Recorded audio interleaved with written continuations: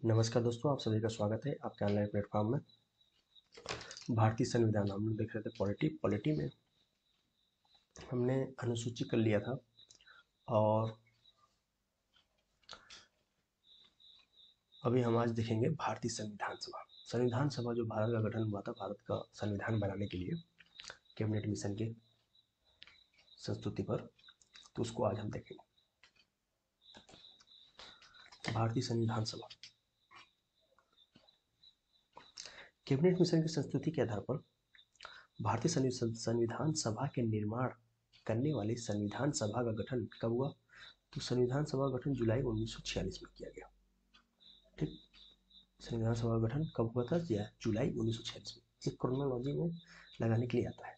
तो ये ध्यान रखिएगा, जुलाई 1946 में किया गया था। कैबिनेट मिशन के सदस्य कौन कौन थे? तो इसमें तीन सदस्य थे। एक तो थे स्टेफर्ड क्रिप्स। ठीक? दूसरा था पैथिक लॉरेंस पैंथिक नहीं पैथिक लॉरेंस ठीक? और सेकंड थे एवी अलेक्जेंडर तीन के जो है सदस्य थे। संविधान सभा के सदस्यों की कुल संख्या, अगर संविधान सभा का जो निर्माण हुआ, ये किसे कैबिनेट मिशन के सदस्य थे। लेकिन संविधान सभा के सदस्यों की कुल संख्या अगर बात करें तो three eighty nine three eighty nine total member थे संविधान सभा संविधान सभा के सदस्यों की संख्या कितनी थी? तीन सौ एट्टी नाइन निश्चित की गई थी, जिसमें से टू नाइन्टी टू जो है ब्रिटिश प्रांतों के प्रतिनिधि थे। दो सौ बानवे ब्रिटिश प्रांतों के प्रतिनिधि, चार चीफ कमिश्नर क्षेत्र के प्रतिनिधि थे, और तिरानवे जो थे, ये देसी रियासतों के। जो भी देसी रियासत है, उनके प्रतिनिधियों को डाला गया था नाइन्टी थ्री लोगों को। कैबिनेट मिशन योजना के अनुसार, जुलाई उन्नीस सौ छियालीस में विधानसभा का चुनाव हुआ। जो जुलाई उन्नीस सौ छियालीस में भारत आया मतलब कि कैबिनेट मिशन का गठन हुआ था और जुलाई उन्नीस सौ छियालीस में ही विधानसभा का चुनाव किया गया। इसमें क्या हुआ? थोड़ा टोटल थ्री एट्टी नाइन जो भी यहाँ ऊपर देखिए ना, तीन सौ नवासी थ्री एट्टी नाइन तीन सौ नवासी सदस्यों में से प्रांतों के निर्धारित टू नाइन्टी सिक्स सदस्यों के लिए चुनाव हुआ। करने के लिए दो सौ छियानवे सदस्यों के लिए चुनाव हुआ।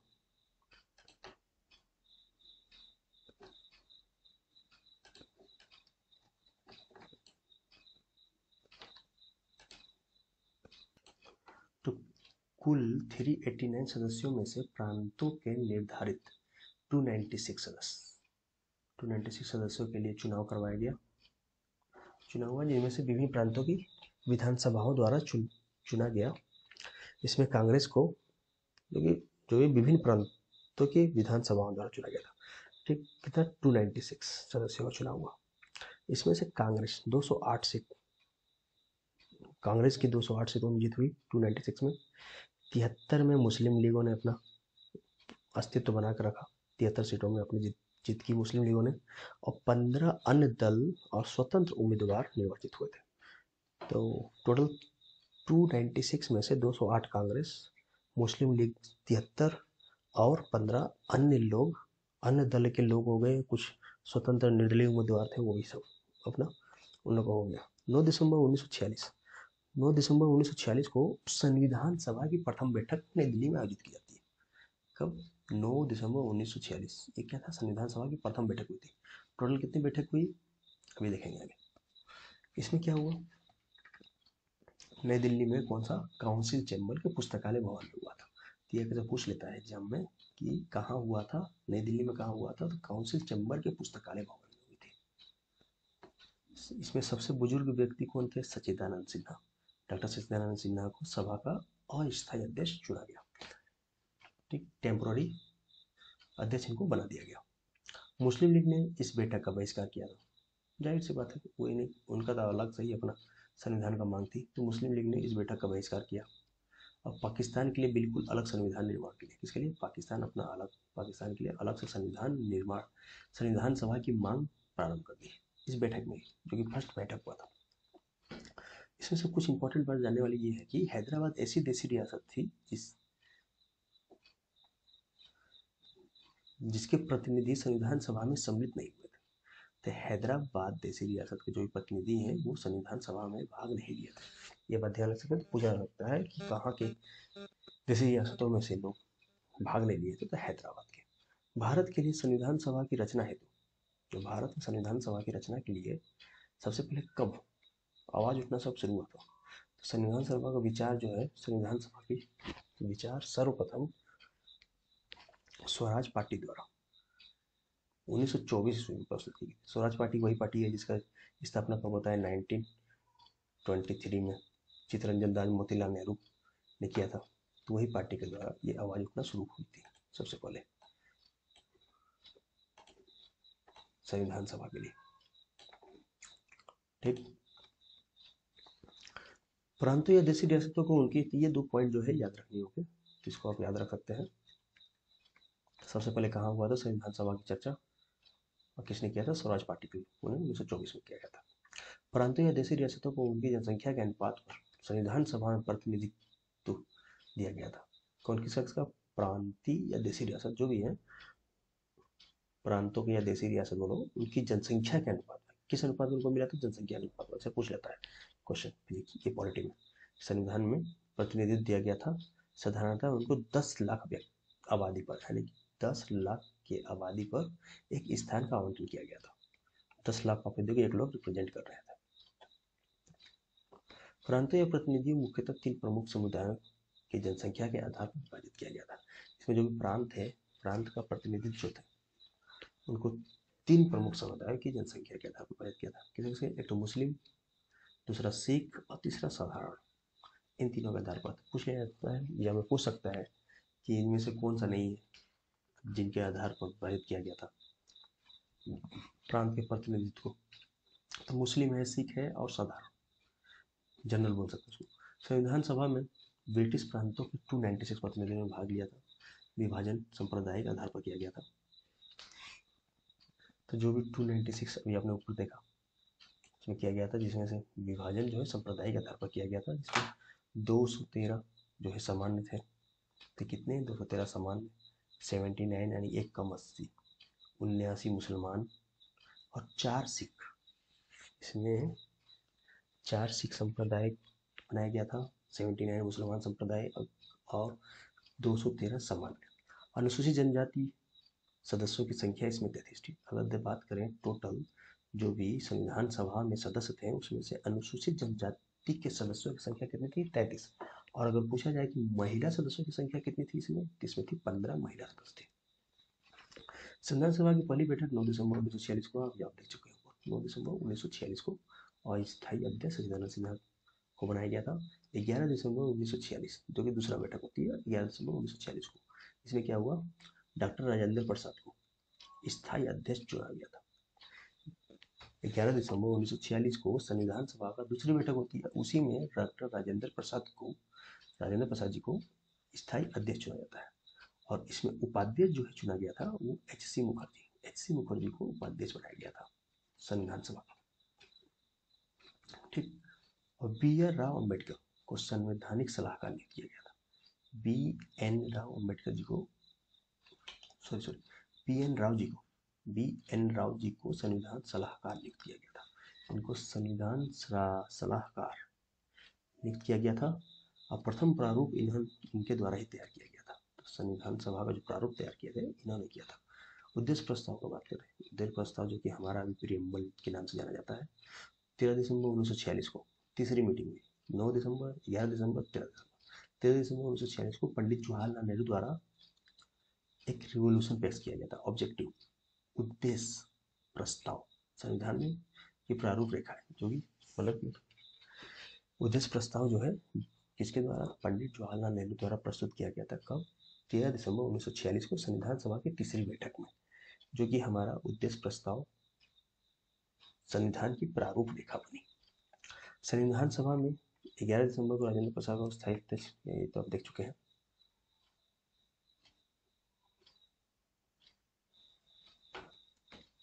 तेरह दिसंबर उन्नीस सौ छियालीस को जवाहरलाल नेहरू द्वारा पेश किए गए उद्देश्य प्रस्ताव के साथ प्रारंभ होता है। ठीक? और 22 जनवरी उन्नीस को उद्देश्य प्रस्ताव को स्वीकार कर लिया गया था। किसके द्वारा संविधान सभा द्वारा जो जवाहरलाल नेहरू ने अपना उद्देश्य प्रस्ताव पेश किया था, तेरह दिसंबर को 22 जनवरी को उसको स्वीकारा गया। तो कब स्वीकारा गया? 22 जनवरी उन्नीस को। उद्देश्य प्रस्ताव की स्वीकृति के बाद संविधान सभा ने संविधान निर्माण हेतु अनेक समितियाँ नियुक्त की। इसमें विभिन्न प्रकार की कमेटी बनाई गई संविधान के निर्माण के लिए। जिसमें से अगर बात करें कुछ प्रमुख समितियों का तो संविधान संविधान सभा की अगर प्रमुख समितियाँ देखा जाए मुख्य समितियाँ तो इसमें पहले तो संघ संविधान समिति। संघ संविधान समिति जिसके अध्यक्ष थे जवाहरलाल नेहरू। ठीक, संघ शक्ति समिति जवाहरलाल नेहरू। नियम समिति डॉक्टर राजेंद्र प्रसाद। नियम समिति। संचालन समिति का भी राजे, राजेंद्र प्रसाद। प्रारूप समिति के B R Ambedkar B R Ambedkar हुए प्रारूप समिति के अध्यक्ष। मौलिक अधिकार हेतु सलाहकार समिति जो बना था वल्लभ भाई पटेल जी थे। मौलिक अधिकार हेतु सलाहकार समिति सरदार वल्लभ भाई पटेल। मौलिक अधिकार उप समिति जैविक कृपलानी। मौलिक अधिकार उप समिति जैविक कृपलानी। अल्पसंख्यक समिति जो थी ये पूछ लेगा। है मौलिक अधिकार क्वेश्चन ऐसा पूछा था सरदार वल्लभ भाई पटेल जो थे, इसके अध्यक्ष थे। मौलिक अधिकार के लिए सलाहकार जो समिति बनी थी। अल्पसंख्यक समिति में H C Mukherjee. H C Mukherjee वही जो कि उपाध्यक्ष बनाई गई थी। ग्यारह दिसंबर उन्नीस सौ छियालीस को राजेंद्र प्रसाद सर जब बनाया गया था अध्यक्ष। प्रांतीय संविधान समिति सरदार वल्लभ भाई पटेल, जो भी प्रांतीय संविधान समिति, वो उसका अध्यक्ष जो थे, सरदार वल्लभ भाई पटेल थे। और सदन समिति के अध्यक्ष पट्टा पट्टाभी सीतारामैया। सदन समिति के अध्यक्ष पट्टाभी सीतारामैया राज्यों के लिए समिति जवाहरलाल नेहरू द्वारा बनाई गई थी। राज्यों के लिए समिति के अध्यक्ष जवाहरलाल नेहरू बनाई गई थी। कार्य संचालन समिति के एम मुंशी, कार्य के के एम मुंशी, राष्ट्रीय ध्वज संबंधित समिति राजेंद्र प्रसाद। राष्ट्रीय ध्वज संबंधी तो अक्सर ये यूपी में क्वेश्चन पूछा गया है। राष्ट्रीय ध्वज संबंधित समिति के अध्यक्ष बनाए गए थे राजेंद्र प्रसाद को। संविधान सभा के कार्यों के लिए समिति जेबी का। प्रारूप समिति की जाँच के लिए विशेष समिति जवाहरलाल नेहरू, नागरिकता पर तदर्थ समिति एस वरदाचारी और संविधान निर्मात्री सभा। संविधान निर्मात्री सभा के अध्यक्ष जो थे, राजेंद्र प्रसाद खुद थे। अब प्रारूप समिति की बात करें तो प्रारूप समिति का गठन किया जाता है कब? उनतीस अगस्त उन्नीस सौ सैतालीस इसका गठन होता है। ठीक अध्यक्ष कौन थे? Doctor B R Ambedkar ji, अध्यक्ष बनाए गए, प्रारूप समिति में। ओके? इसमें कुल सात सदस्य थे। एक अध्यक्ष थे, बाकी छह और सदस्य मतलब कुल सात सदस्य का बात हो रहा है। कौन कौन से सदस्य, छह और सदस्य? तो पूछ जाता है एग्ज़ाम में, अक्सर जो बीपीएससी या यूपीपीएससी, पीसीएस में, यूपीएससी में पूछा जाता है कि इसमें से कौन से सदस्य नहीं थे। ठीक? तो बी आर अंबेडकर अध्यक्ष हो गए, ये तो सबको पता है। एन. गोपाल स्वामी अयंगर ये थे। अलादी कृष्ण स्वामी अय्यर जी थे, के मुंशी जी थे, सैयद मोहम्मद सादुल्ला जी थे, एन माधव राव। ये आए बी एल मित्र की जगह में बी एल मित्र की जगह में एन माधव राव जी आए और टी टी कृष्णाचारी। ये भी बात में याद है किसके नाम डीपी खेतान की मृत्यु होने के बाद टी टी कृष्णाचार्य जी जो है प्रारूप समिति के अध्यक्ष बने। स्वतंत्रता के पश्चात संविधान सभा की प्रथम बैठक जो है तो ये भी क्वेश्चन पूछ लेता है कि स्वतंत्रता प्राप्ति के बाद संविधान सभा की प्रथम बैठक कब हुई थी? तो ये हुई थी 31 अक्टूबर उन्नीस अगस्त में हमको स्वतंत्रता मिली। अक्टूबर में होती है मीटिंग वो भी लास्ट अक्टूबर में। इकतीस अक्टूबर से कुछ याद आ रहा होगा। राष्ट्रीय एकता दिवस। उसी दिन इसकी जो है प्रथम संविधान सभा की प्रथम बैठक हुई थी। बाईस जनवरी उन्नीस सौ सैंतालीस को संविधान सभा द्वारा संविधान देने का उद्देश्य प्रस्ताव पारित किया गया था। बाईस जनवरी उन्नीस को संविधान सभा द्वारा क्या संविधान देने का उद्देश्य प्रस्ताव पारित किया गया था। मतलब वही जो उद्देश्य आपका ऑब्जेक्टिव रेगुलेशन जवाहरलाल नेहरू द्वारा जो पेश किया गया था, वो बाईस जनवरी को स्वीकार लिया गया था। और संविधान निर्माण प्रक्रिया के दौरान संविधान के तीन वाचन हुए थे। कितने वाचन हुए? तीन वाचन। संविधान का तीन वाचन हुआ। तो पूछ लेता कितने वाचन हुए? तीन हुए थे। पहला कब हुआ था? चार से नौ नवंबर उन्नीस सौ अड़तालीस में। ये उन्नीस सौ अड़तालीस में हो गया था चार से नौ नवंबर। दूसरा जो हुआ था, ये लंबा चला था। पंद्रह नवंबर से सत्रह अक्टूबर उन्नीस 15 नवंबर 1948 से 17 अक्टूबर उन्नीस सौ उनचास तक द्वितीय वाचन चली। और तृतीय वाचन का बात करें तो 14 नवंबर उन्नीस सौ उनचास से 26 नवंबर उन्नीस सौ उनचास तक चला। 14 नवंबर उन्नीस सौ उनचास से 26 नवंबर उन्नीस सौ उनचास तक तृतीय वाचन हुई। तृतीय तीनों वचन ध्यान रखिएगा। ठीक देखिए, फ़र्स्ट जो हुआ फोर्टी एट में सेकेंड जो हुआ फोर्टी नाइन में। और जो ये दोनों के बीच में कौन सा हुआ? Second first forty eight third forty nine दोनों के बीच में सेकेंड फोर्टी एट से फोर्टी नाइन राइट छब्बीस दिसंबर, नवंबर उन्नीस सौ उनचास को। क्या? छब्बीस नवंबर उन्नीस सौ उनचास को संविधान सभा पर सभापति के हस्ताक्षर हुए और इसे पारित कर लिया गया। तो स्वीकार तो कर लिया गया, लेकिन कुछ पार्ट इसके स्वीकारे गए थे। ठीक? वो आगे देखेंगे। ठीक, सभापति के हस्ताक्षर हुए और इसको पारित कर, घोषित कर दिया गया। छब्बीस नवंबर उन्नीस सौ उनचास को अपनाए गए संविधान के 284 सदस्यों ने अंतिम रूप से उसमें हस्ताक्षर किए थे। कितने सदस्य हस्ताक्षर किए क्वेश्चन पर पूछ लेता है। तो 26 नवंबर को ही एक तो हो गया सभापति जी। ठीक, साइन किए और दूसरे के दो सदस्यों ने इसमें अंतिम रूप से अपना हस्ताक्षर दिए थे। नागरिकता निर्वाचन और अंतरिम सदा संसद। नागरिकता निर्वाचन और अंतरिम संसद से संविधान बंदों को तथा अस्थायी और संक्रमणकारी बंदों को तुरंत प्रभावी किया गया। ठीक, जो भी नागरिकता है, निर्वाचन और अंतरिम संसद, इंटरिम पार्लियामेंट संविधान उपबंधों को अस्थायी और संक्रमणकारी उपबंधों को तुरंत प्रभावित किया गया। अर्थात 26 नवंबर उन्नीस सौ उनचास से ही लागू किया गया था। शेष संविधान जो है हमारा 26 जनवरी 1950 को लागू हुआ। ठीक, संविधान निर्माण में संविधान सभा द्वारा कुल ग्यारह अधिवेशन हुए। तो पूछ लेता है, संविधान निर्माण में कितने अधिवेशन हुए? तो ग्यारह। कुल कितने अधिवेशन हुए? तो बारह। वो कैसे? तो यहाँ क्या होता है? संविधान सभा द्वारा संविधान निर्माण में। संविधान सभा में टोटल कितने हो गए? ग्यारह अधिवेशन। ग्यारह दिनों में से एक अतिरिक्त हुआ। एक और बैठक होती है जो 24 जनवरी 1950 को हुआ था। इसी में यही जो है संविधान सभा की अंतिम बैठक हुई। तो संविधान सभा की कुल कितनी बैठक हुई? बारह, लेकिन निर्माण में ग्यारह, ये बात ध्यान रखिएगा। ठीक? कन्फ्यूज़न है? कोई दिक्कत नहीं। हो जाएगा। एक बार दो बार देखिएगा तो। ये संविधान सभा की अंतिम बैठक थी। इसी में 24 जनवरी 1950 को राजेंद्र प्रसाद को राष्ट्रपति नियुक्त किया जाता है। ठीक? संविधान सभा में साम्यवादी दल। साम्यवादी दल, समाजवादी दल और हिंदू महासभा का प्रतिनिधित्व नहीं था इसमें। किसका किसका? समाजवादी दल, साम्यवादी दल और हिंदू महासभा का प्रतिनिधित्व नहीं था संविधान सभा में। बाईस जुलाई उन्नीस को राष्ट्रीय ध्वज को अपनाया गया।